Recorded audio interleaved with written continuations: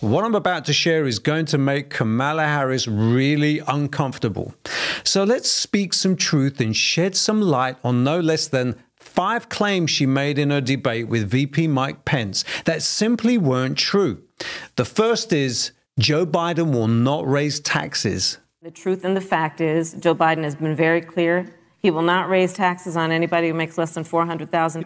Guess what? If you elect me, you're not going to have your, your taxes are going to be raised, not cut. I'd, I'd make the changes on the corporate taxes on day one. And the reason I'd make the, the change in the corporate taxes, it can raise $1.3 trillion if they just start paying at 28% instead of 21%. So, in other words, Biden wants the USA to have higher corporate taxes than communist China, which is currently 25%. But that's not all. Biden also wants to eliminate Trump's tax cuts. And folks, on day one, on day one, I will move to eliminate Trump's tax cuts. The second lie is that Trump will remove pre existing conditions on health care. If you have a pre existing condition, heart disease, diabetes, breast cancer, they're coming for you. Okay, I'm confused. Didn't Trump sign an executive order protecting pre existing conditions for Americans in September of this year? Or was that my imagination?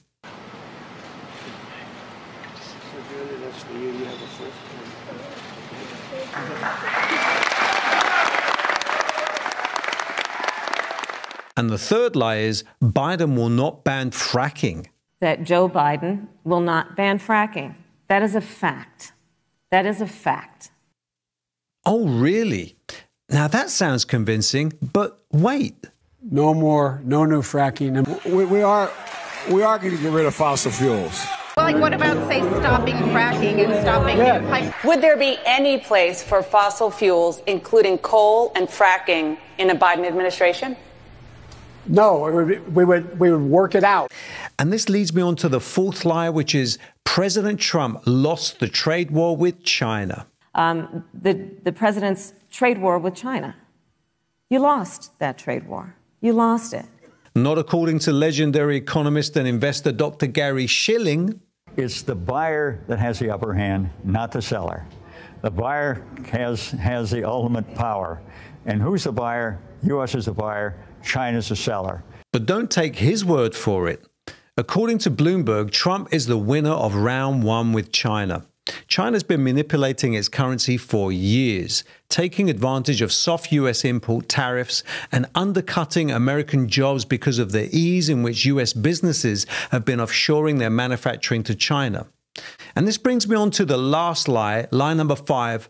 Her work as AG in California is a model for the USA. First of all, having served as the Attorney General of the state of California, the work that I did is a model of what our nation needs to do. However, her long record as law and order prosecutor paints a different picture. Now, Senator Harris says she's proud of her record as a prosecutor and that she'll be a prosecutor president, but I'm deeply concerned about this record.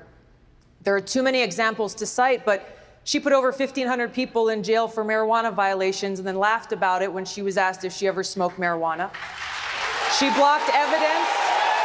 She blocked evidence that would have freed an innocent man from death row until the courts forced her to do so. She kept people in prison beyond their sentences to use them as cheap labor for the state of California. So, yes, Kamala Harris is a defender of dirty prosecutions, a political opportunist, and an old school drug warrior that incarcerated more blacks in California than at any other time. Instead of apologizing for her record, she tries to convince voters she's always been a progressive prosecutor.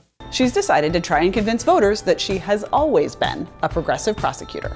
How do you reconcile your contradictory past with what you claim to support today? I've been consistent my whole career. Yeah, she's been consistent, all right. Consistent at telling lies. Thanks for watching, and don't forget to tune in to the next Dr. Jaymz show exclusively on What TV.